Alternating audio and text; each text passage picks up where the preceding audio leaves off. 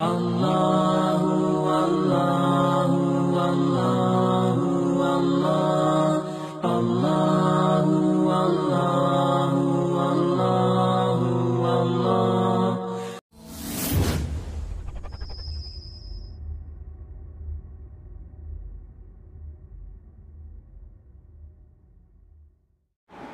ভাই প্রশ্ন করেছেন যে নামাজের রুকুর মধ্যে দৃষ্টি কোন দিকে থাকবে কোন দিকে থাকবে? ভাই, প্রশ্ন করেছেন, নামাজে যখন আমরা সলাত আদায় করছি মতো অবস্থায় আমাদের দৃষ্টিটা কোন দিকে থাকবে?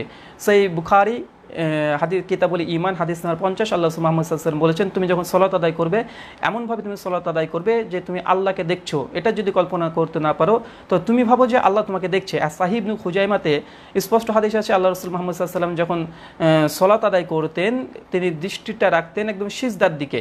আর যখন তাস্বাদ আত্মা হিয়াতুর বৈঠকে বসতেন, তখন আঙ্গুলটা রাখতে মানে দৃষ্টিটা রাখতেন এই শাহাদাত আঙ্গুলে।